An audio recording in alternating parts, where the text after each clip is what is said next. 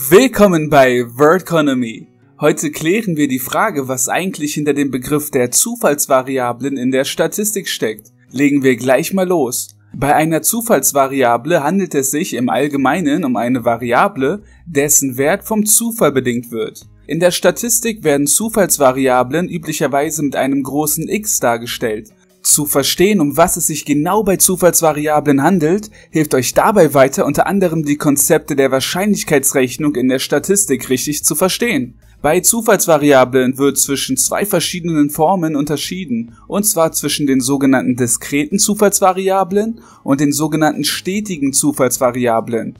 Diskrete Zufallsvariablen zeichnen sich dadurch aus, dass diese abzählbar sind, das bedeutet, dass zwischen den einzelnen Ausprägungen feste Abstände zu beobachten sind und somit eine konkrete Aussage in Bezug auf den Wert der Zufallsvariable getroffen werden kann. Ein Beispiel hierfür wäre die Anzahl von verkauften Kaffees. Hier kann am Ende des Tages genau ermittelt werden, wie viele Kaffees nun tatsächlich verkauft worden sind. Da ja nur ganze Kaffees verkauft werden können, ist hier also der gerade angesprochene feste Abstand, und zwar zwischen einem, zwei, drei Kaffees und so weiter gegeben. Die diskreten Zufallsvariablen lassen sich mit Hilfe der sogenannten Massefunktion darstellen. Hier gibt jeder Strich beispielsweise die Anzahl der verkauften Kaffees für den jeweiligen Wochentag an. Und nun zu den stetigen Zufallsvariablen. Diese sind im Gegensatz zu den diskreten Zufallsvariablen nicht abzählbar. Hier sind keine festen Abstände zwischen den einzelnen Ausprägungen gegeben, sondern diese können beliebige Werte innerhalb des Intervalls annehmen. Ein Beispiel hierfür wäre etwa das Wasservolumen in einem See. Hier haben wir es ja nicht mit festen Abständen zwischen den Literanzahlen zu tun, sondern das Wasservolumen kann theoretisch unendlich viele Werte beispielsweise nach der Kommazahl annehmen. So kann das Wasservolumen beispielsweise 50,3767 und so weiter und so weiter Millionen Liter Wasser beinhalten und ist somit eben nicht direkt abzählbar. Stetige Zufallsvariablen werden wiederum mit Hilfe der sogenannten Dichtefunktion dargestellt. Hier wird zum Beispiel das Wasservolumen eines Sees innerhalb eines Jahres dargestellt. Hier ist die Funktion also immer verbunden, da der individuelle Wert ja nicht genau abgezählt werden kann. Perfekt, nun schauen wir uns noch anhand eines kleinen Beispiels an, wie wir eine Funktion für Zufallsvariablen aufstellen können. Wir haben die Aufgabe bekommen, die Funktion für die folgenden Zufallsvariablen aufzustellen. Hierbei handelt es sich um einen kleinen Friseursalon. Dieser beschäftigt insgesamt drei Mitarbeiter.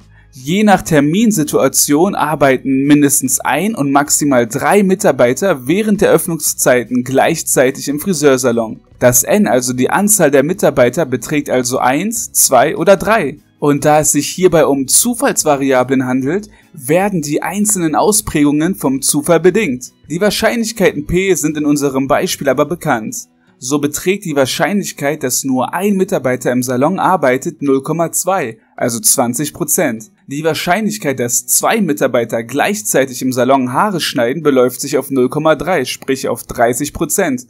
Und die Wahrscheinlichkeit, dass alle drei Mitarbeiter gleichzeitig beschäftigt werden, besitzt einen Wert von 0,5, also 50 Prozent. In der Summe müssen die Wahrscheinlichkeiten immer 1, also 100 Prozent ergeben. Nun stellen wir uns die Frage, ob es sich bei diesen Zufallsvariablen um diskrete oder um stetige Zufallsvariablen handelt. Da die Anzahl der beschäftigten Friseure direkt abzählbar ist, handelt es sich hierbei natürlich um diskrete Zufallsvariablen. Perfekt, nun können wir auch schon die dazugehörige Funktion aufstellen. Diese fängt immer wie folgt an f von x gleich p, also die gesamte Wahrscheinlichkeit von Groß X, den Zufallsvariablen, gleich klein x für die jeweilige Ausprägung, gleich die Summe aus. Und hier setzen wir nun einfach unsere Werte ein, und zwar 0,2 für x gleich 1, also die Wahrscheinlichkeit von 20% für einen Mitarbeiter, 0,3 für x gleich 2, also die Wahrscheinlichkeit von 30% für zwei Mitarbeiter, 0,5 für x gleich 3, also die Wahrscheinlichkeit von 50% für drei Mitarbeiter, 0 für x kleiner gleich 0, also die Wahrscheinlichkeit von 0% für 0 oder weniger als 0 Mitarbeiter, da ja mindestens ein Mitarbeiter während der Öffnungszeit im Friseursalon beschäftigt sein muss. und schließlich 0 für x größer als 3, also die Wahrscheinlichkeit von 0%, dass mehr als drei Mitarbeiter gleichzeitig Haare schneiden, da im Friseursalon ja insgesamt nur drei Mitarbeiter beschäftigt sind. So, das war's auch schon mit der Funktion. Nun wissen wir endlich, was sich hinter dem Begriff der Zufallsvariablen verbirgt und wie die dazugehörige Funktion aufgestellt werden kann. Ich hoffe, dieses Video konnte helfen, das Thema der Zufallsvariablen in der Statistik zu erklären und zu veranschaulichen. Über eine positive Bewertung und ein Abo für weitere Statistikvideos würden wir uns sehr freuen. Vielen Dank und bis zum nächsten Mal bei Wordconomy.